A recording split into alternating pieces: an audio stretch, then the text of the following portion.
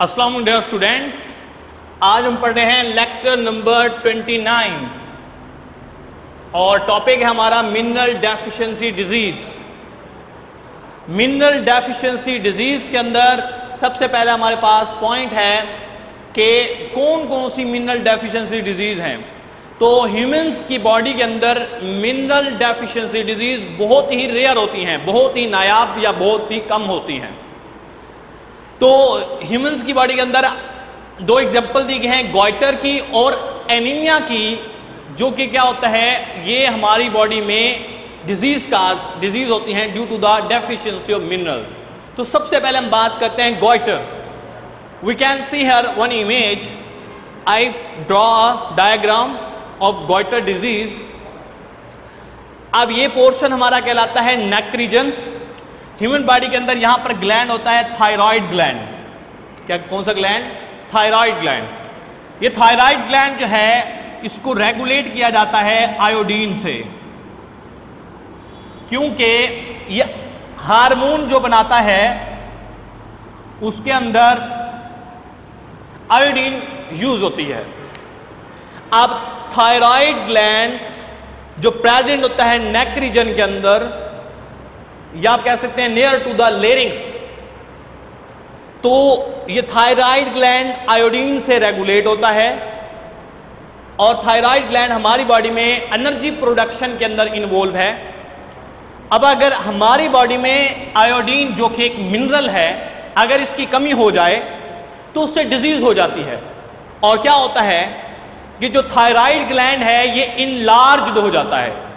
और नेक स्वेल कर जाती है, फूल जाती है, और उसको हम क्या कहते हैं गुल्हड़ भी कहते हैं, और ये डिज़ीज़ का नाम है गोइटर क्लियर तो क्या होगा goitre is the mineral deficiency disease mineral deficiency disease which is cause by the due to the deficiency of iodine and the thyroid gland in large and swelling in the neck point clear अब क्या होगा?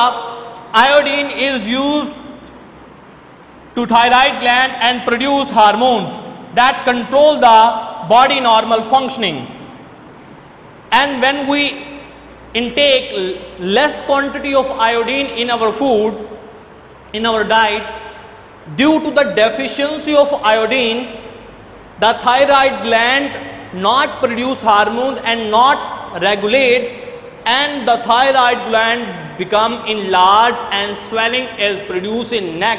That is called goiter. Next है anaemia Urdu में इसको कहते हैं खून की कमी अ लैक ऑफ़ ब्लड कब होता है? इसको थोड़ा सा देखेंगे।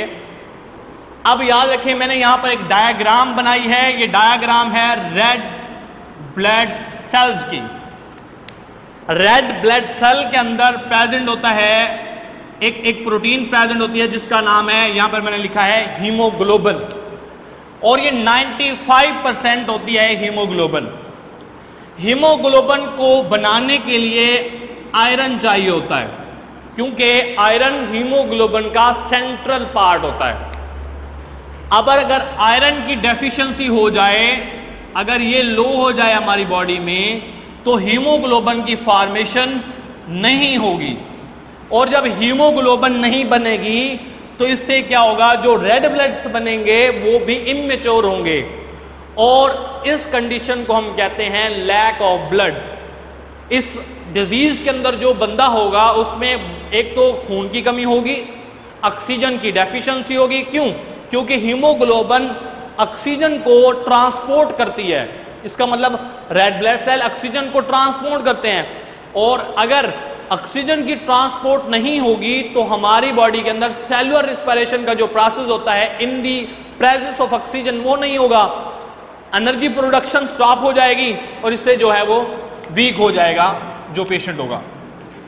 Is the most common of all the mineral deficiency disease anaemia literally meaning lack of blood why lack of blood? Due to the deficiency of iron.